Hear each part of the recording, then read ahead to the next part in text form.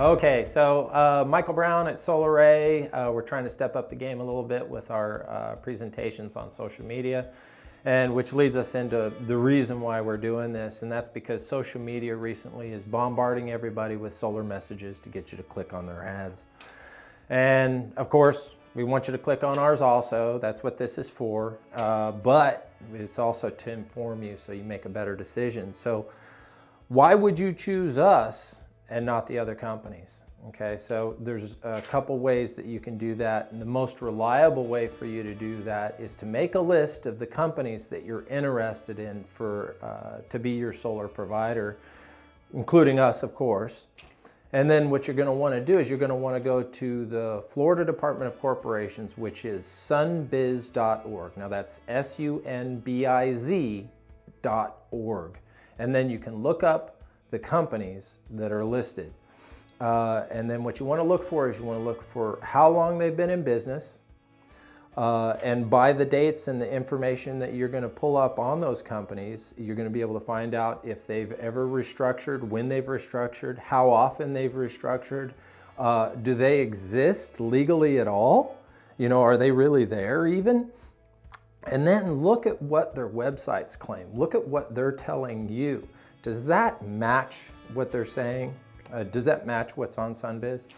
Um, and if the company claims don't match the facts that you find on Sunbiz, that's a very that's the very beginning. That's the introduction of that company to you. Is what they're telling you in social media and also on their websites. So if the reality that you find on the Department of Corporations doesn't match what they're advertising and what they're marketing, is that really a company that you can trust? Well, um, and I want you to look, those companies, I want you to look us up too. Because at Solar-Ray, we've been exactly what we claim to be. We've been the most well-trained customer, dedicated to solar uh, in the state of Florida, uh, dedicated to our customers. We've been continuously in operation with no bankruptcies, no restructuring, uh, no problems, no liens, no, uh, no issues as far as us being a company for over 15 years. So, uh, and I want you to verify that. I want you to verify that with us, and I want you to verify that with the other companies. So if their claims don't match uh, what you find is actual fact, and also their, uh, their uh, bragging or what they're saying they can offer you is something that's going to be long lived, and they've only been around for five, six years, uh, you're talking about an investment that could be 30 years so uh, or more.